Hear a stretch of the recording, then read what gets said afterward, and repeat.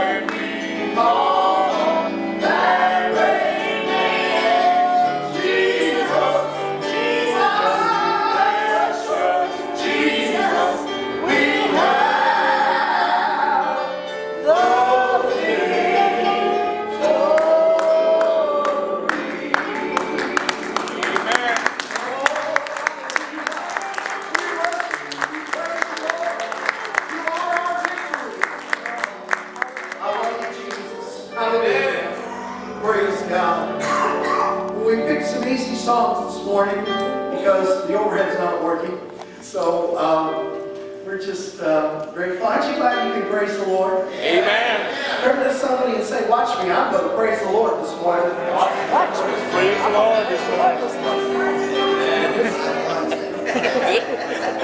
Something's gonna hit me in the jaw, too, brother. He's still kind of shaking. We're going to sing a song that I love and that um, I really feel led of the Lord to sing this morning. It says, how many know the song You Never Let Go? Well, you learned song this morning. Absolutely nobody. Well, you're going to learn it. This is a song that God bless you. Yeah. not only brought a revival to our church, but a personal revival in my life, going through some things that um, I really needed to know that he was there. Listen to the words, and when we get to the chorus, they're pretty simple. It says, Oh, no, you never let go. Lord, you never let go of me. And then one, I'm glad you don't let go Amen. of you, but I'm really glad you don't let go of me. Amen? It's personal.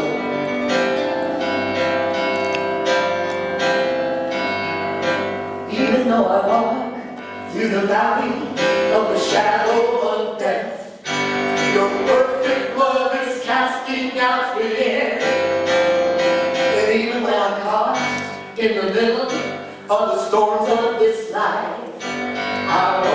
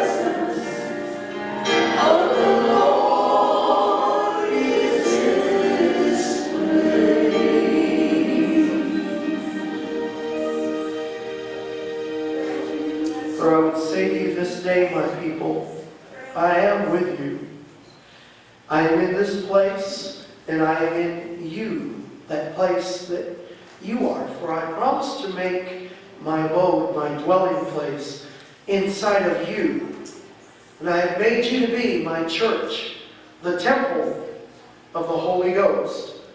Do not think that I will abandon you or leave you, for I am with you wherever you go. I am with you, says the Lord, in the midst of all that is happening, and I will uphold you. I will sustain you. I will cause you to blossom forth, even as a blossom, a rose in the desert, says the Lord. For yea, I'm watching over you. Be of good cheer this day, and lift up your head and rejoice. Lift up your heart. Notify your soul that you are mine, and you have a right and a privilege and a purpose to rejoice, says the Lord. For I have called you with a great and a high calling, and yea, you are mine, says the Lord, and I will do great and mighty things in and through you, says the Lord. Hallelujah.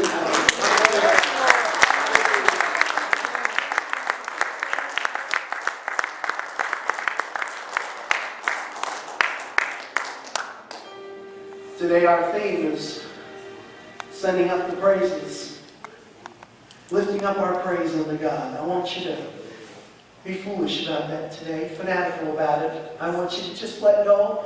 Don't worry about people standing by the side if they think you're a little weird or whatever. They probably already do. So uh, just confirm it, okay?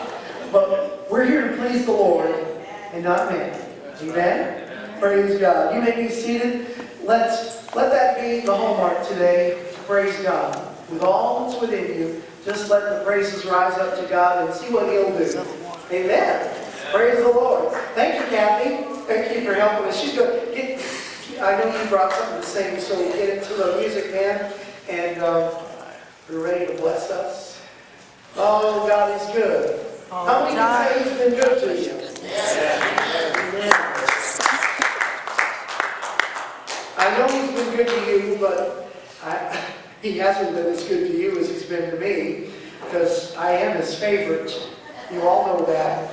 And uh, I'll tell you, the blessings upon blessings upon blessings that God sends my way, I am so humbled when I think how much God loves me and How He blesses me every single day of my life. Everywhere I go, every time I turn around, there's a blessing from the Lord. I count it a great joy and privilege to um, be um, your leader, your overseer, and I don't take it lightly. I know it comes with a great responsibility, but um, I am grateful today for what God has done. But as many, most of you know, I, I succeeded um, Pastor Dan Duncan as president of WEA, and our dear sister Erla, Erla McKinley Duncan, um, is in uh, Minnesota.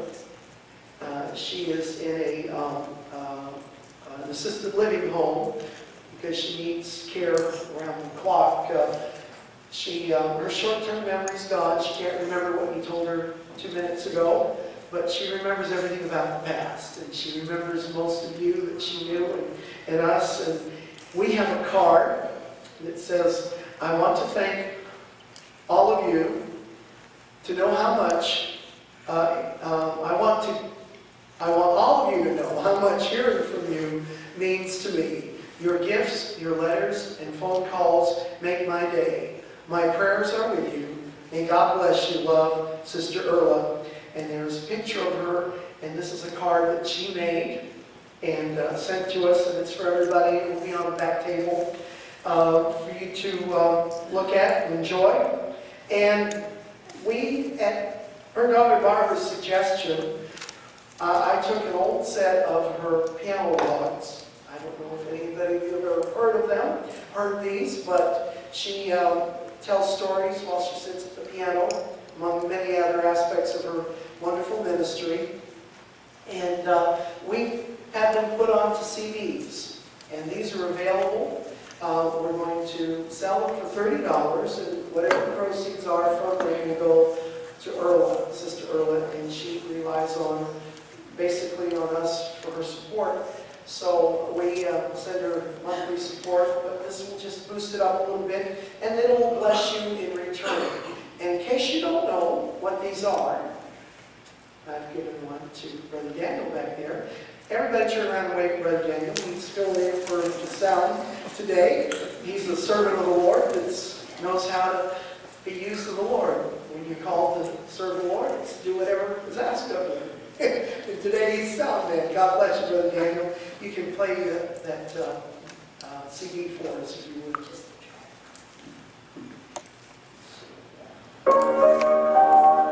My name is Erla McKinley. I'm here to share stories of faith. Everybody loves stories, and this is a category about children. There was a young couple worried about city life, all the things that children are exposed to, the schools, the environment. And they were young, and so they just decided that they would live out in the country. They could commute to the city for their jobs because both of them were college educated and had fine jobs in the city. They just didn't want to raise their little boy in the city. So they went every weekend and they looked until they found a 70 acre farm. It was just right. Had a house, so it passed. Take a lot of work. But they were young and enthusiastic, so they decided, all right, why not? So they scraped and puttered and painted and rebuilt and repaired, put on a new roof and a couple of new floors. It was such fun, and they were so excited. The only thing that didn't excite the mother was an old dog that came with the farm. Big old black, long-haired dog. Floppy ears, long tail. No class at all. She said, oh honey, the first thing we're going to do is get rid of that dog. Well, the previous owners had had to leave the dog. And the dog was grieved about those people being gone. He missed them. And he wasn't too enthusiastic about these new people either. So everybody had an opinion, and nobody considered another party. That was a little four-year-old boy. And he would sit on the, on the porch, and he would whisper so his mother couldn't hear, but the dog could. I like you. I don't think you're ugly. I like long hair, and I love floppy ears, and I like your big old tail. And every day he faithfully talked. Well, it took less than a week, and the big old dog was won over heart and soul. Put his head in the little boy's lap, and that was the beginning of a love affair. They were inseparable. They played from morning till night. In the fields, up and down over the hills. He knows down all the neat sticks and rocks. He helped the little boy spot every butterfly. He knew every nook and cranny of that 70 acres, and they walked and laughed and played. Well, it started out this way. The old dog got to sit by the table during mealtime. Then, after a while, he got to go in the living room and sit down by the little boy and watch television. Then he got to sleep at the foot of the bed. And then what happened was, you guessed it, he was in bed with his little arms all around the old dog's neck. All you could see was one tiny little hand and a whole lot of long, shaggy hair.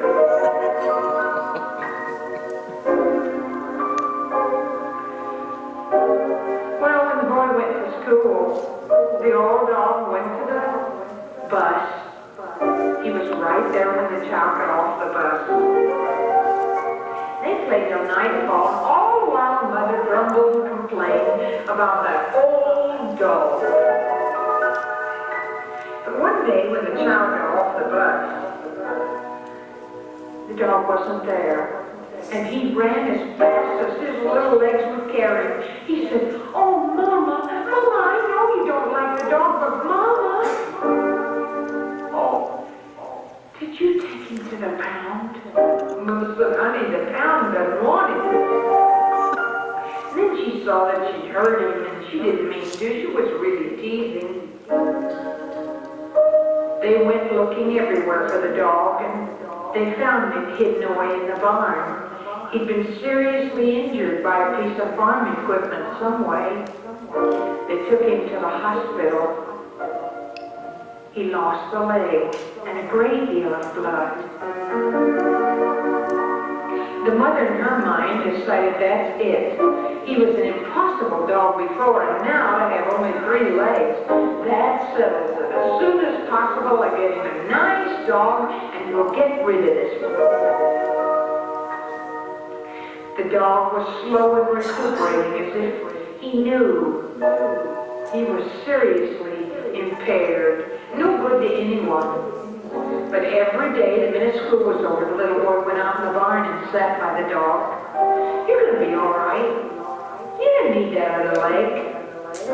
You had to walk awful slow for me when I was younger.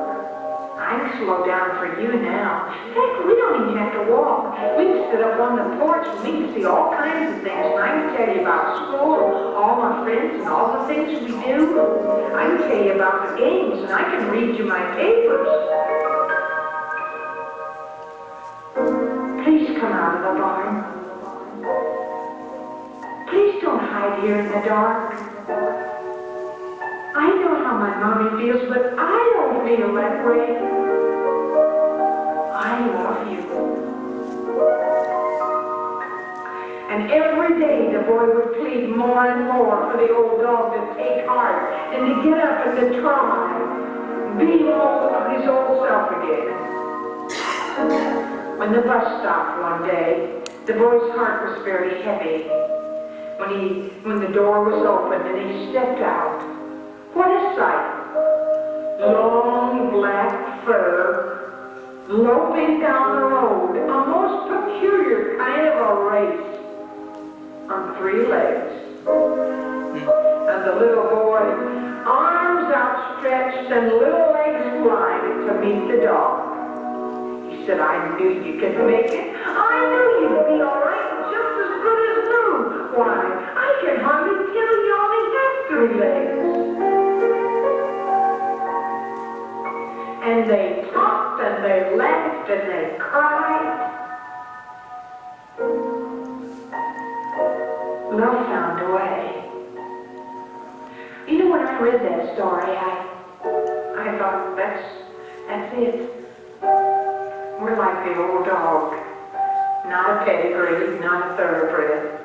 Hmm. Just an old mud turd, mongrel. People look at us in church and say, where'd they come from? They don't belong in our group. They don't qualify. They have no class. But Jesus Christ looks over the balcony of heaven and says, Father, I love them. They're mine. I bought them by the price. And the greatest gift of all is when I'm saved touched by God. And something in life comes along and I make a tragic mistake. I heard my testimony and people are ready to write me off. Say, I told you they weren't any good. I told you not to make an investment in them. That Jesus Christ stands at the balcony of heaven and says, Father, I still care. They'll come out of this stronger and better. They'll be more beautiful. Because in the breaking, they'll have a mellowness they didn't have before. Out of the ashes of many people's lives, beauty has been born. Aren't you glad he loves us enough, no matter what?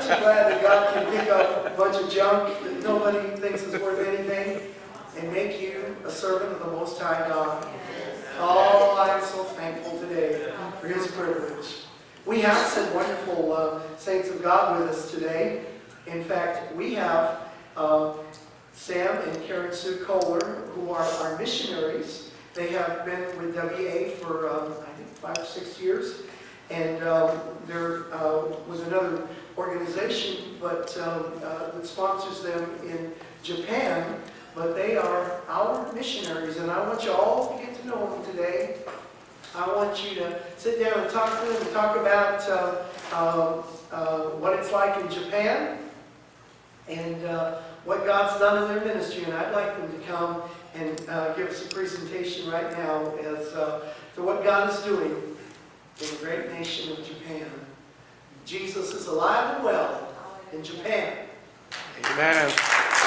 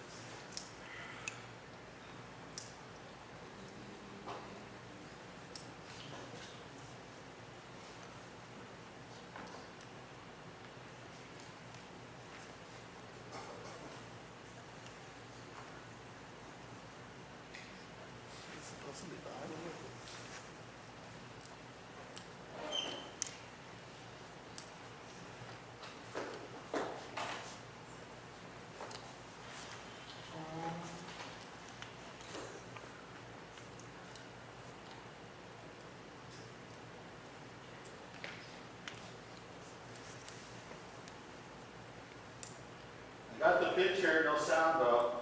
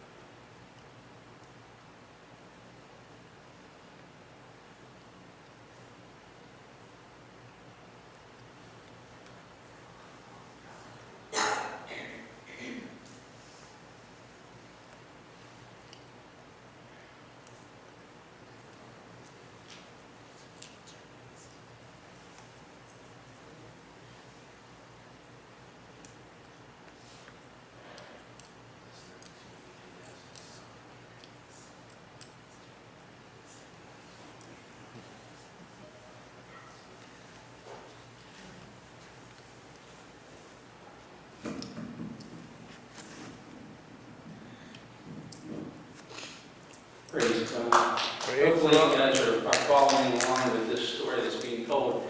Um, a lot of people ask us what the, the worship service is like in Japan. So we put this video together. And right now you would actually be hearing the audio of the worship service in Japan. But uh, a lot of the songs are the Hosanna, Integrity's, Praise, and Worship music. And so many people are just so fascinated to see they've been translated into Japanese. And we sing those same songs over there. These are some of the baptisms that took place uh, this past term. This is the Sea of Japan, in between uh, Fukuoka and uh, China. And this is Karen Sue, one of the, the ladies at the church. And that is the Japanese pastor who is now in charge of the church. Whenever we go to Japan and plant a church, our goal is to turn it over to a national pastor, to turn it over to a Japanese pastor, and get that church on its feet so it is self-supporting. The people are discipled, and the sheep are out begetting sheep. And it, it just propagates itself. That is our goal, is to turn it over to the Japanese people. We, we firmly believe that the, if Japan is going to be won to the Lord, it's going to be won by the Japanese people. So that's our goal. And the Lord added to the church. These are all new believers who were added to the church just this past four or five years. And it's unusual if you've traveled in Japan, a lot of solemn faces on the subways and on the city streets. And the, you can just see the glory of the Lord on, on these faces. These people are just so happy. They have a hope. They have a reason to live. And it's just been a blessing to serve over there, serve the Lord in that capacity. And you all have been a tremendous blessing to this ministry. We just, we covet your prayers and your support, and we have just been blessed. But this, this presentation was our past term, about four and a half years in a nutshell. It was the quickest way for us to convey to you everything that's taken place and the effect that you had in Japan. We couldn't be overdoing this, you know, in Japan, doing this without your prayers and support. We really couldn't. It's like, you know, for a soldier to come home from Iraq and say, you know, look what I did. No, no, it's everybody behind the scenes that gets him out there and gives him the support he needs to get the job done that makes it happen. And the same thing's true in ministry. Without the prayer cover and without the people back home who are, who are just with you in partnership, none of this would be possible. Amen. You know, when you go into Japan, it's less than 1% Christian. You have walked into the enemy's territory, and it's a battle. So we want to just praise God for all that He's done, and thank you so much for your prayers and support. I just want to share a few things with you about Japan. Japan is less, as my husband just said, less than 1% Christian.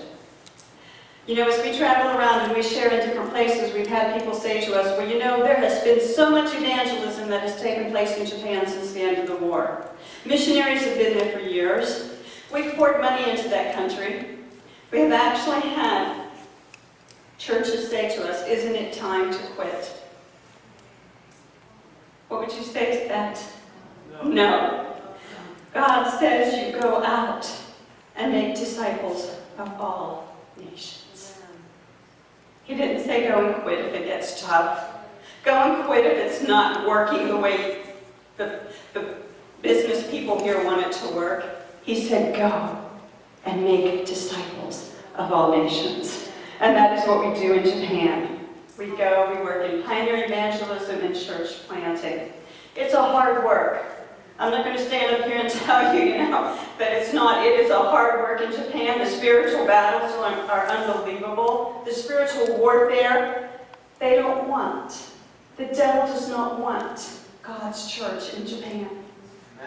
But you know, the, the nation of Japan has been in bondage for years to, to Buddhism, to Shintoism. The people are under bondage. They live in fear. They do not follow any of their traditions out of love. They follow their traditions because they know if they don't, they believe if they don't, that they're going to be cursed. So everything is done out of fear. All of the traditions that they follow. If you want to control the people, what do you do? You get them believing a lie. And they've lived a lie for years. But God has other plans for the nation of Japan. And I can stand here today and tell you that in Japan, in the midst of all of that bondage that they are living under, that God is raising up His church. Hallelujah.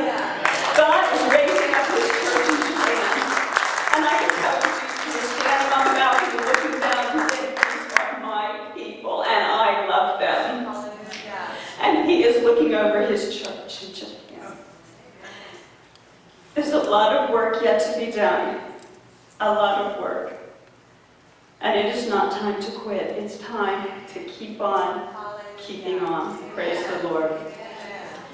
Pioneer evangelism, church planting just means you go out into areas where there's no Christian outreach and you, you do what you can to get the gospel message out to the people. It's a fascinating work. It's a challenging work. But we praise the Lord that the miracles that have taken place, you saw what you just looked at was the building of a church in the city of Fukuoka, the second church. There's a church on the east side of the town. This was the building of the church on the, the west side of the town. It's the second church that God has raised up in Japan. Praise the Lord. Those Christians over there need your prayers. They need your prayers. When we came home, we said, you know, what can we tell the people in America? What can we ask the churches? What do you want us to tell them? They said, tell them to pray for us. Ask them to remember us over here. They live in a country where it's not popular to be a Christian. They live in a country where if their boss finds out they're a Christian, they're not going to be even looked at for promotion.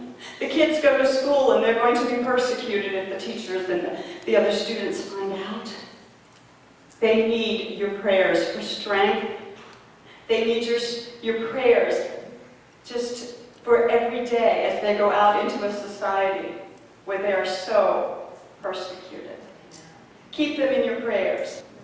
That's what we are doing as we travel around the states right now, is challenging churches to get involved and to keep the Japanese and the other nations of this world in prayer. Thank you.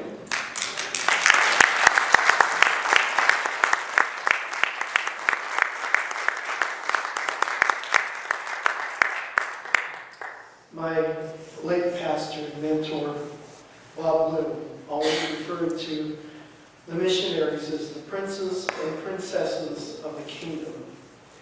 And we've been blessed with royalty this morning.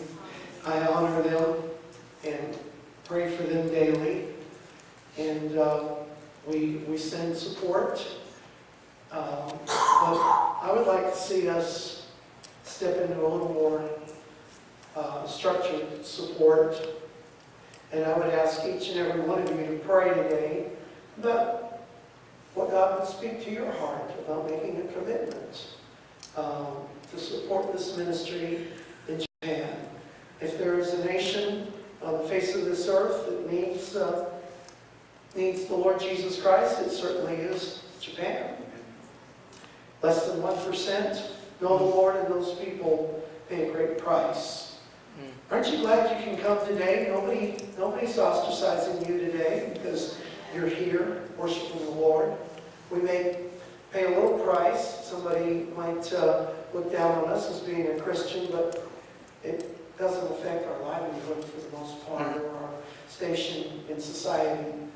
But pray for Japan. Pray for those precious. Didn't you see those precious faces up there? People that God loves. Now, to some, they're that three-legged dog that we heard about.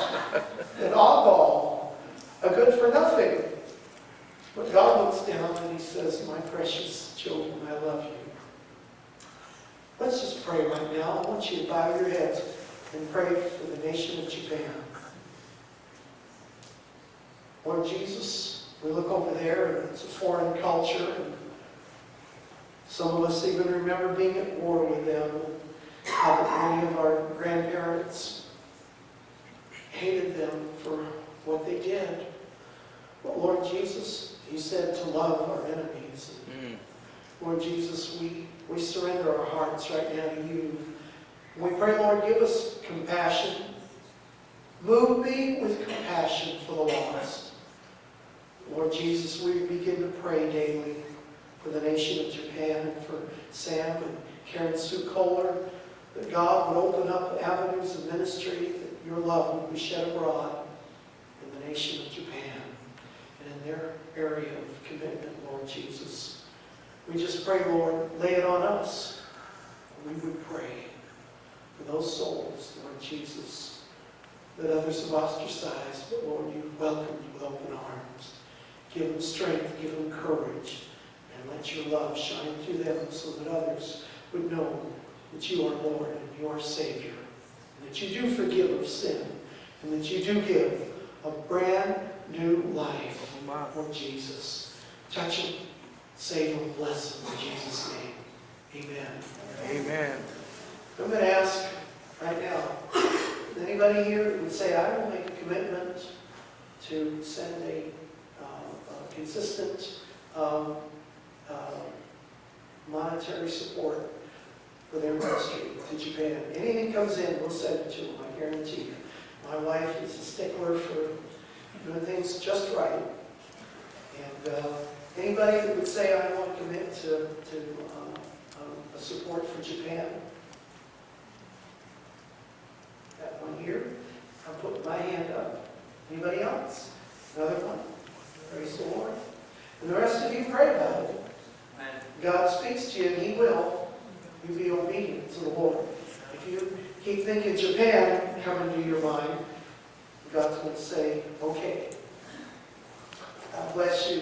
Thank you. Thank you for that. It's, yes. Yes. Designated. Just put your Japan on there, and we'll know what it's for, and we'll get it to them. And uh, send it to WA, to our post office box, and, and we'll make sure that it goes to them.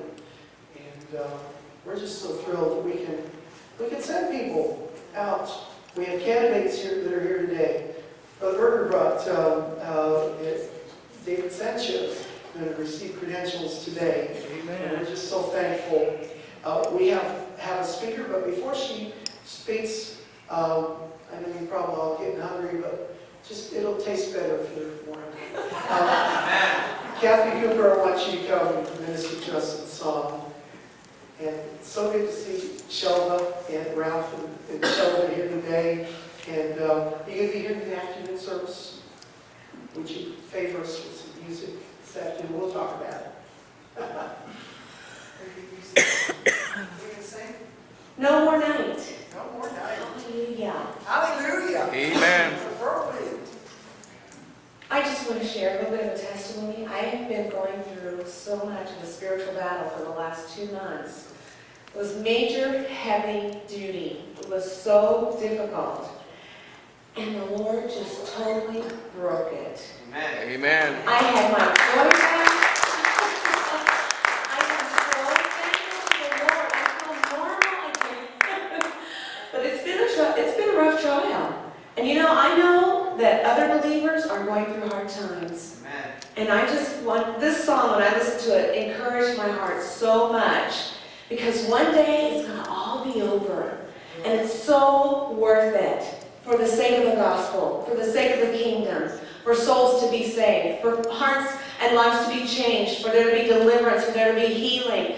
It's so worth it. Everything that you do and all the ministry that you work in, it's worth every trial, every circumstance, every situation you go through. It is worth it. Because one day we're going to be over on the other side. Hallelujah. And I want to hear my Savior say, Well done, thou good and faithful servant. Amen.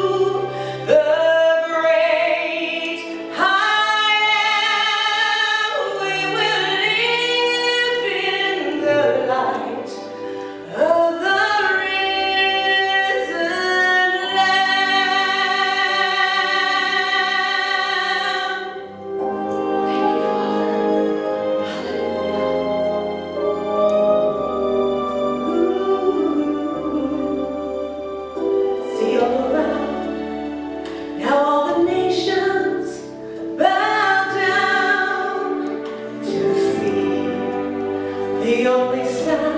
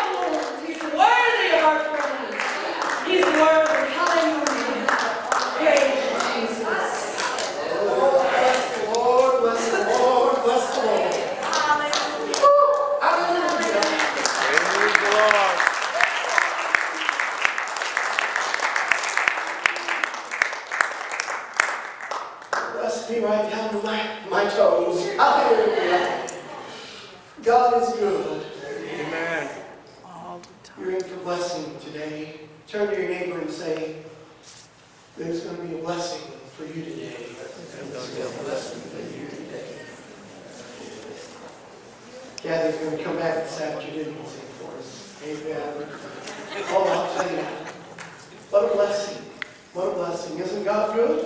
All the time. I want to remind you that um, um Sam and Glad Pacheco, uh, um, Sam is not doing well. We need to pray for him. He really needs a touch from God.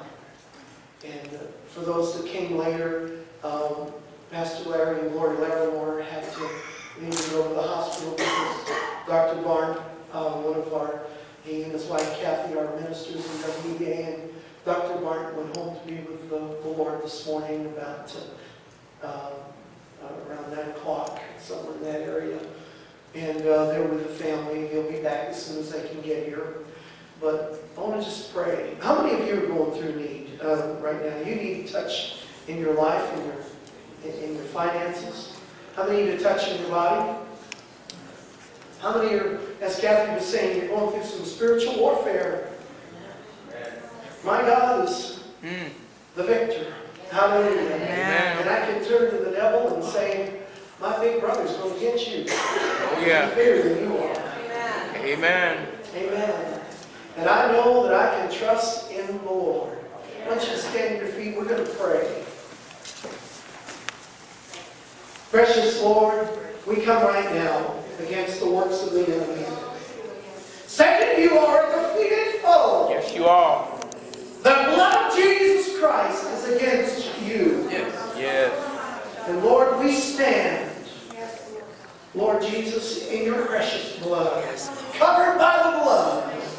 The Lord Jesus, in that you bought freedom from sin, freedom from depression and discouragement, freedom from the attacks of the enemy. Lord, by your stripes we were healed at Calvary. And it's already been done. We claim it right now in the name of Jesus. Healing for mind, body, soul, and spirit. Lord Jesus, touch and heal. We, we call out the name of Sam Pacheco, Lord Jesus. A divine touch in his physical body right now. Lord Jesus, and each and every one, Lord God, that suffers. We pray for Sister Irma, Lord God, that you, you, restore her memory, Lord Jesus, and cause the, the diminishing to stop, Lord. Bless your servant. Lord, we pray peace and comfort right now for the Bart family. Lord, you hold Kathy in your arms right now. Lord Jesus, let her know that it's all right. Lord, we sorrow not as those who have no hope. For as the song says, there's a place where there's no more night, no more pain, no more sickness or sorrow, no more tears. Lord Jesus, we pray right now, your Holy Spirit comfort and minister to each one.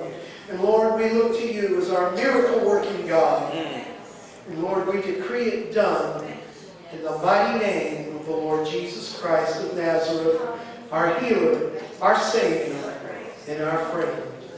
In Jesus' name, amen. You may be seated. Amen.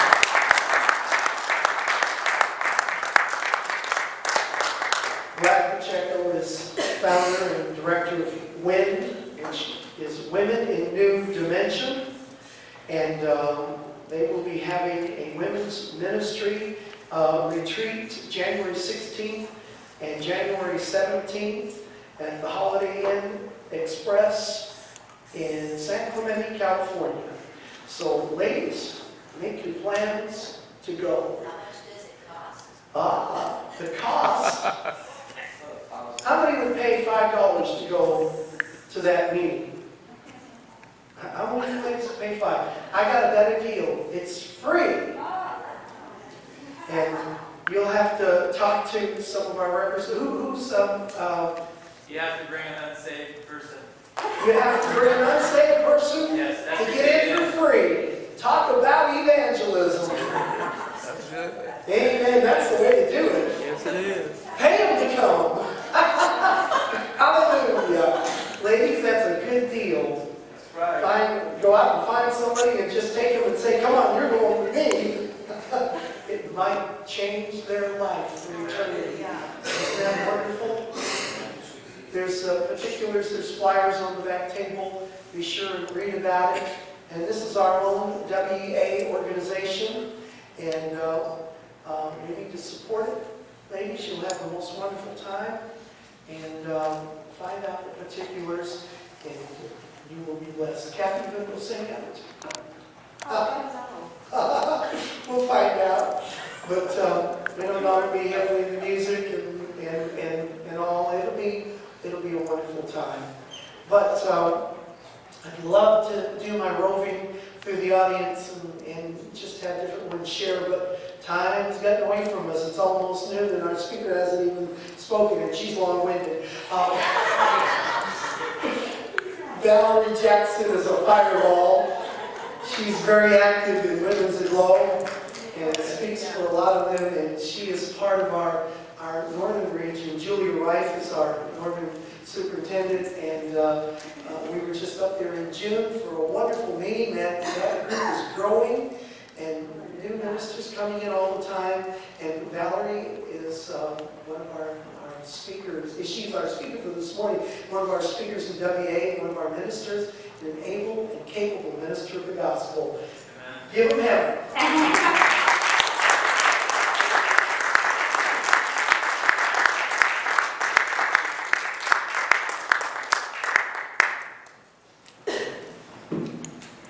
Well, first of all, I want to say your song was over the top. Amen. And um, as I was sitting there, the Lord gave me a word for you. Um, what's your name again? Kathy. Kathy. Kathy, you have a, a, a talent in singing, but it's not just the voice that you sing. You break through with your singing. And that's why the enemy comes against you so powerfully because it's not just, there's a lot of wonderful singers, but not everybody has a breakthrough with their singing. And you broke through something today. And I just want to encourage you not to let the enemy put oppression or depression on you because God will use you mightily in worship. Because I want to tell you something about worship for a moment. We talk about praise a lot, but there's a big difference between praise and worship. And very often in the church we only praise, we never get to worship. Because there's a place in worship where everything goes from us speaking to God to God coming back our spirit to spirit connects.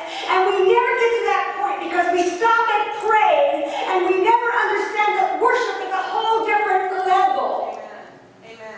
We go to God with our celestial list of what we want God to do in our life, and we stop after we tell Him all the things we need. Amen. But worship is when you get to the place where God connects with your spirit in such a way that your spirit and His spirit become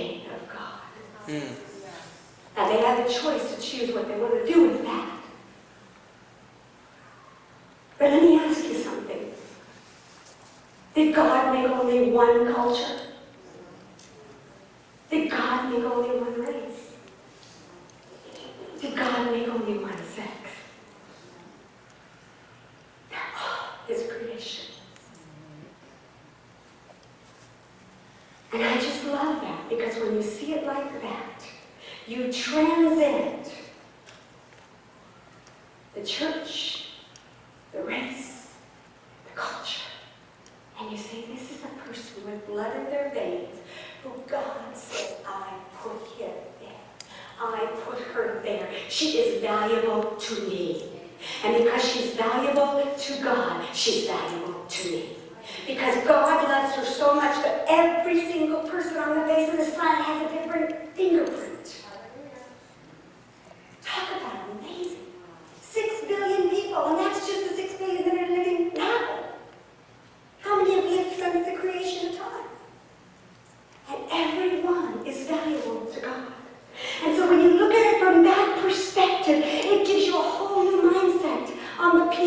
and you start to cry out for their salvation because like your own children,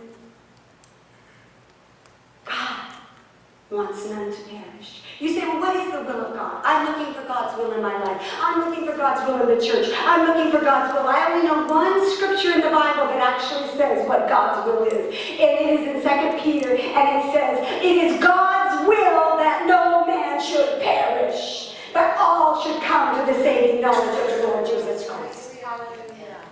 That's God's will. So that is the will of God. So what your question is not is what God's will is. God's will is that you say, What is the question is, is what is my part in fulfilling God's will? Am I a singer? Then I should sing. If I'm a preacher, I should preach. If I'm a teacher, I should teach. But it's all for one goal. To proclaim the acceptable year of the Lord, the day of vengeance of our God, to become, to um, comfort all those that mourn, and to appoint to them who mourn in Zion beauty for ashes. You see, God hates robbery for burnt offerings, but what he loves is to take those burnt offerings and give you beauty out of them, to give you authority and strength in your situation, and He'll walk you through it, and then He'll take it and use it for His own glory so that others who are going through that will have the authority in their life by watching the authority in your life.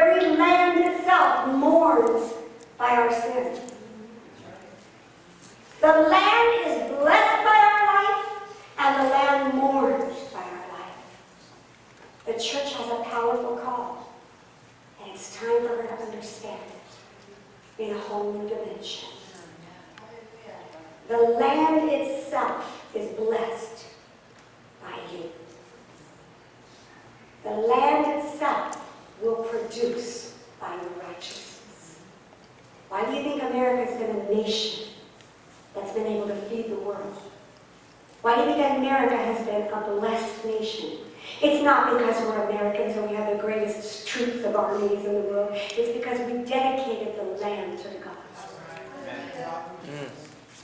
And I'm going to tell you something. I believe America is on the verge of being very much like Solomon.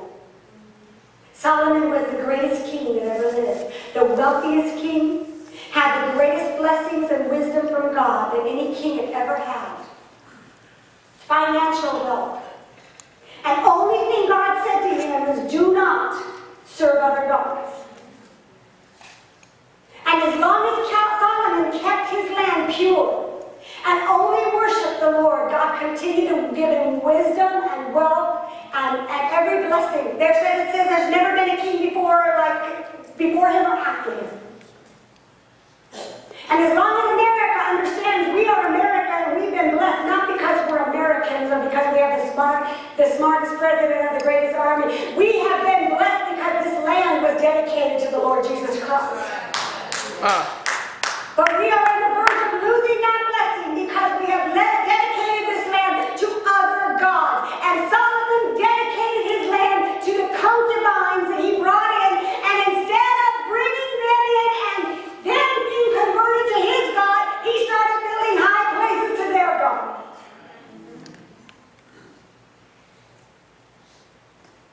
And we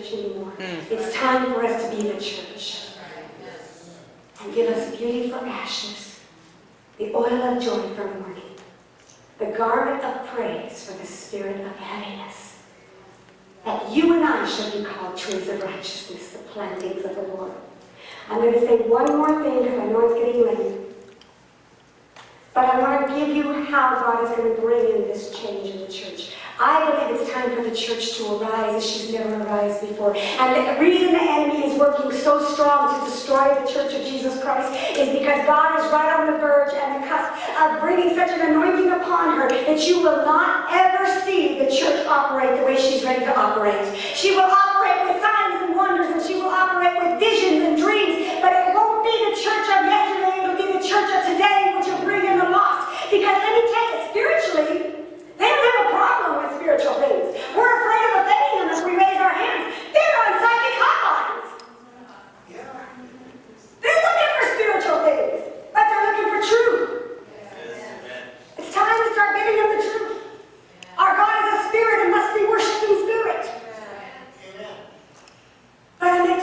ordained it. And now I'm going to close.